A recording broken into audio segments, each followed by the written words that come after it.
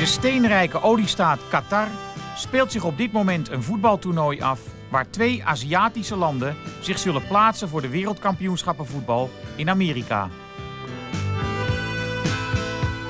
We zijn bij de ontspannen training van het door de Nederlander Hans Ooft getrainde Japan. De van oorsprong Braziliaanse speler Ramos woont al 18 jaar in Japan. Hier wordt hij bijgestaan door de spits Kazu, een superster in Japan waar hij de status van een Michael Jordan heeft. Kazu verdient 2 miljoen dollar per jaar en is hier blij met een Hollands t-shirtje. Put it on, yes. This, this is, yes. It's from cows. This is cows, yes. Yes, let me see, yes. Nieuw, nieuwe koeien. Nieuwe koeien. Nee, nieuwe koeien. Nieuwe koeien. Yes, that's it, nieuwe koeien. Voor de Japanse media, uitgerukt met 250 man, is dit een major event. Ook Ramos krijgt een shirtje.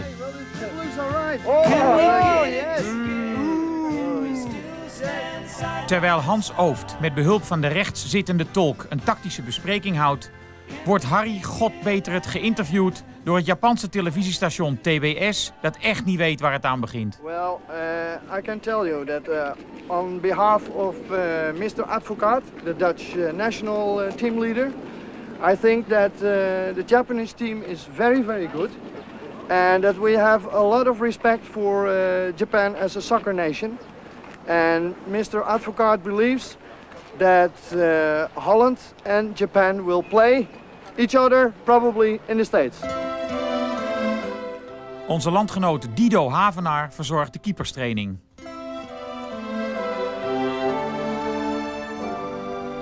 Hello, my name is Harry. What's your My name? name is Ikuo Ichihara. Dat is de Japanse Kees Jansma. Hello, and what's your name? My name is Kenji Matsushita. Mart Smeets. Aan hen vraagt Harry een prognose op de wedstrijd Polen-Nederland. Poland is a very strong team, so Yeah. I'll get three points, and uh, Poland only just one point. 3-1 for Holland. Yes. Thank you very much. And what do you think? Uh, Holland, Holland? mm, striker, Yeah, uh, but the score. The score score. uh, the three, score. three, Three for and Holland? one. And one. One. 3-1. The Holland, Holland. Okay, 3-1. three one. Okay. Hans Ooft speelde betaald voetbal in Nederland. Hij coachte in Tokio de club Mazda en werd daarna manager van de FC Utrecht. Toen de Japanse bond hem vroeg trainer te worden van het nationale team, keerde hij terug naar Japan. Aan Harry legt hij het grootste probleem uit van de Japanse voetballers. Dat je uitlegt van, de- zo gaan we voetballen. Ja. En er verandert wat in het veld, doordat de tegenstander iets verandert, weet ik veel. Dan kunnen ze daar niet zo goed op anticiperen. Japan, niet. Japaner de weg kwijt, begrijp ik. Nou, niet volledig de weg kwijt, maar, Maar licht, blijven- licht de weg kwijt. Eh, niet de weg kwijt, maar ze weten Maar- de goede weg niet te vinden. Dan ben je de weg kwijt. Als ja, nee, nou we ja. blijven op jouw weg. Nee, We blijven op je oude weg voortgaan. Maar goed, Nee. Als je de nieuwe weg niet kunt vinden, ben je de weg kwijt. dan ben je op de oude weg nog. Zie dat verkeerd? Maar je bent wel populair eh, bij de Japanners, hè? Dat is me wel opgevallen. Japanners zijn gek met jou, toch? Nou, ik heb niet te klaar. Niet zo bescheiden. Waar komt dat nou weer vandaan? Waarom nou weer zo bescheiden? Eh, Doe nou, niet zo bescheiden, man. Laten we maar normaal doen. Eh, Waarom nou? Dat is nou weer zo Hollands. Hou er nou ja, eens mee ja. op. Nou, je neemt je achtergrond neem je overal mee naartoe hoor. Ja, waarom? Hou op. Ik zeg tegen jou, Nou, ik geen- populair bij de Japanners. Ja, dat gaat Dan wel. zeg jij, ja, dat klopt. Ik ben populair bij de Japanners. Ik weet het niet. Dat zou best kunnen. Nee, Ga ik, verder. nee, ik wil van jou horen, ik ben inderdaad populair bij de Japanners. Nou, moet ik het zeggen? Graag, want ik zit erop te wachten. Ik ben populair bij de Japanners. Juist. Kijk, nou schud je die Hollandse bescheidenheid van je af. Hè, hè? Hè, hè? Wat een stap, hè? Een enorme stap. Ja, Voelt dank- het bevrijdend of niet? Dankjewel, ja. Zie je? Ik heb nog twee sessies nodig bij je. Na deze therapeutische oefening slaat het gesprek het zoveelste kronkelige zijpad in. Natuurlijk heb je een Heb je al op de bank gezeten? Heb je wel eens getraind? Eh Mr. Hardy. Ja, en? is toch ABC'tje, man? Oh, sorry. Je maakt wat van die gebaartjes en, eh, en jij erin, jij eruit, up, up, up. eh, wat is het, wisselen? Dat is Wisselen is het zeven. dit, dit bedoel je? Hè? Ja, dat moet kunnen. Ik vind altijd het mooiste gebaar wat er bestaat, hoor. En je doet hem ook goed. Vooral omdat je hem achterloos doet. Ooft lacht hier nog, maar heeft inmiddels pas één punt uit twee wedstrijden. Waarin de politiek nauwelijks slaagt, lukt de voetbalsport.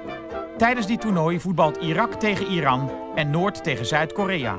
De stemming blijft goed, ook bij de F-side van de Saoedi's, die hier op weg zijn naar het Khalifa-stadion, waar vrouwen geen toegang hebben.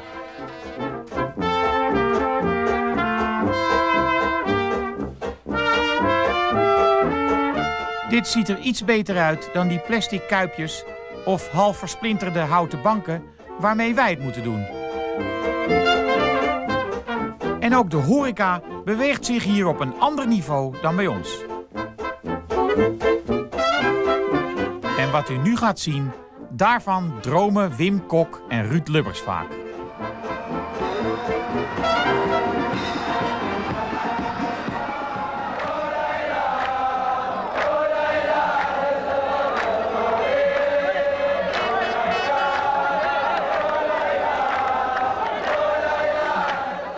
De drumband verzinkt even in gebed.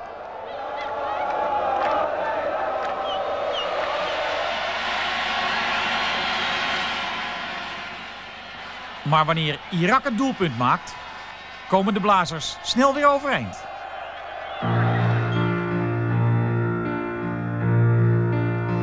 Jaap Uilenberg kreeg van de FIFA-waarnemer een 9 voor zijn uitstekende leiding van Irak-Noord-Korea.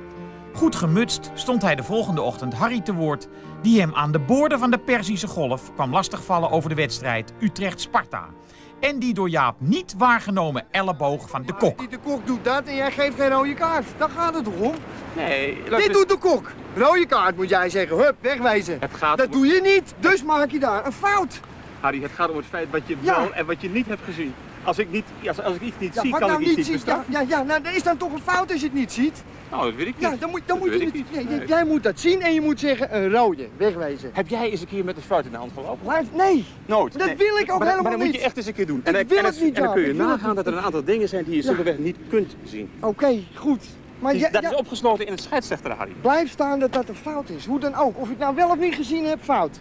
Ik neem mij dat zelf ook kwalijk, heb ik Ah, al tegen jou gezegd. hè, heb ik al tegen jou gezegd. Maar dat wil niet zeggen dat ik zoiets, dat, dat ik zoiets Ja. in de toekomst kan voorkomen. Heel simpelweg omdat het is opgesloten in het scheidsrechter. Ja, fijn. Ik zei net, we hebben, we hebben twee ogen, dus, dus wij maken gelukkig ook fouten. Ja. Gelukkig ook We fouten. maken gelukkig fouten. Ja. Nee, niet gelukkig fouten. Jawel. Jullie maken fouten. Het woord gelukkig kan eraf. Waarom? Ja, waarom nou? Waarom ben je nou gelukkig met fouten maken? Wij zijn toch ook Nee. mensen? Wij zijn toch ook mensen? Ja, ik wij ben blij zijn dat ook ik, mensen. Ja, ik ben blij dat ik een fout kan maken, ja. Ja, echt. Jij hebt Han Berger ook nog het veld uitgestuurd? Want Ja. die zei Jan Lul tegen jou. Nee. Harry, dat zei Dat hij dus zegt niet. hij. Hij zegt, Nee. ik heb gezegd tegen Jaap Jan Lul. Harry, je bent niet goed geïnformeerd. Wat heeft hij gezegd? Hij heeft gezegd Jan Lul tegen de grensrechter. Oh, dus nog minder Plus. erg. Minder Plus. erg. Nou, nee, net zo erg. Ja, vind ik minder nee, erg. Ik niet. Ja, vind ik, minder Harry, erg. ik echt niet. Vind ik toch een grensrechter. Vind ik minder erg. Vind je dat? Ja, en Jan Lul vind ik al überhaupt niet erg. Nee. Vind je dat nou erg? Vind je dat nou echt een belediging? Ik heb hem weggestuurd voor een totaal ander woord. Oh. Dat, dat heeft hij zelf ook... eh, Mag ik het woord even horen? Hij heeft mij uitgescholden voor klootzak.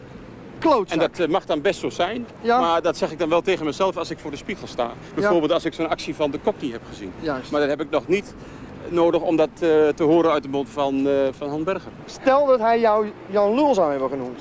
Is dat dan acceptabel of gaat dat dan ook al te ver? Dat is voor mij acceptabel. Dat is acceptabel. En klootzak gaat dan weer te ver. Dat gaat mij te ver. En waarom gaat klootzak dan weer te ver? Dat zijn bepaalde normen die ik aanleg, waar ik zeg tot deze grens en niet verder. Ik scheld een speler ook niet uit voor klootzak. En ik scheld een speler overigens ook niet uit voor Jan hoor. Oké, nou dus, dan weten de trainers dat.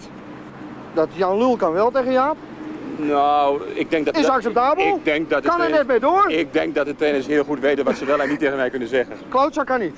Absoluut, Absoluut. niet. Niet.